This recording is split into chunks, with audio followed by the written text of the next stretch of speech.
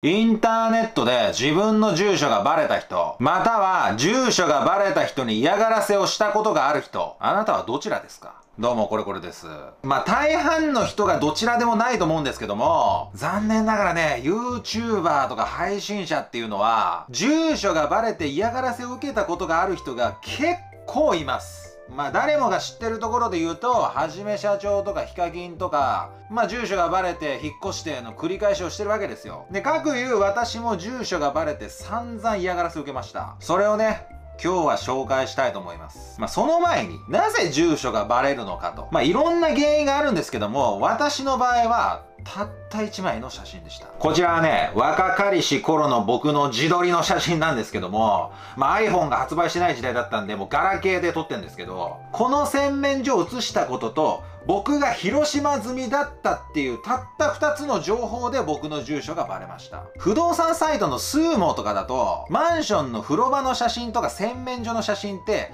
載ってたりするところってあるんですよ。だからそういう載ってるところのマンションに住んでるとバレます。もうね、もう暇なネットユーザーってのいるんですよ。もう24時間 YouTuber とか配信者のこう住所を調べるためにカタカタカタカタってやってね。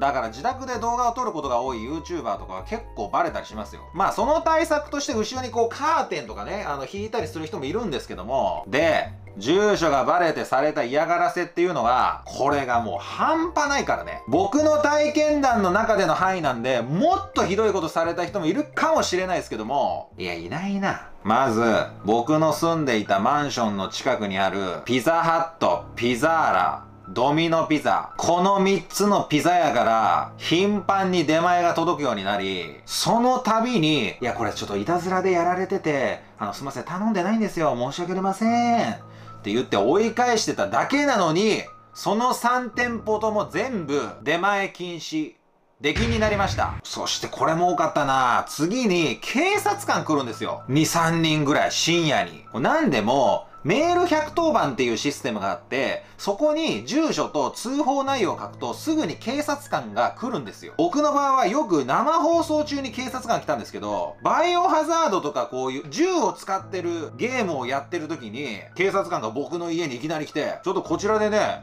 銃を所持してる人がいるっていう通報が入ったから来た、来ましたとかって、いやいやいや、バイオハザードの銃やからっていう。まあ、あとは女性を監禁しているっていう通報が入ったりとか、もういろんな通報がありました、本当に。で、その度に、こういう嫌がらせ、あの前からやられてて、いや、なんかちょっとなんとか対応してもらえませんかね？って。そのメール110番のシステムを悪用してる人がいるのってどうなんですか？逮捕してくださいよって言ったんですけど、いやー、こっちもね、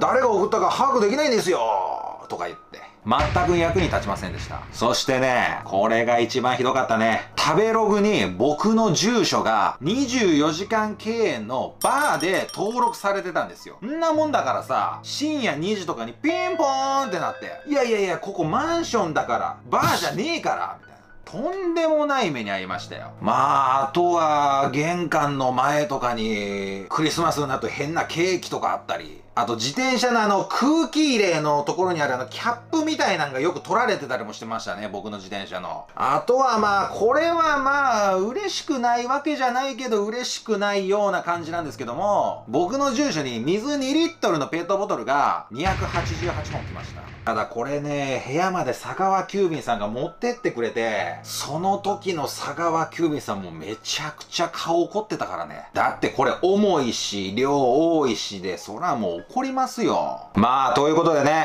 これから YouTube やろうとか思ってる子供たち、やるのはいいけど、よく考えてから動画投稿してほしいですね。住所がバレたらとんでもないことになりますからね。特に学生だったら住所がバレると学校もバレたりしますから、学校に通報が入ったりとかもしますし、YouTube で変なことやってますよなんんて通報が入ったりもしますからね。特に実家住みとかになると親にも迷惑かかりますし、まあ、YouTube やるなら一人暮らし始めてからやるのが一番いいんじゃないかなと僕は思います。あと、住所がバレた YouTuber や配信者に嫌がらせしてるやつ、今は捕まんねえかもしんないけど、今後どうなるかわかんねえかんな。震えて眠っとけ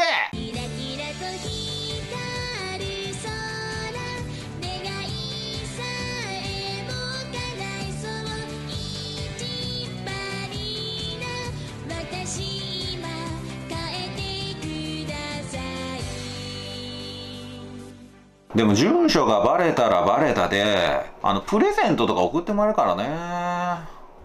まあ、ありっちゃありだよな。いや、ないか。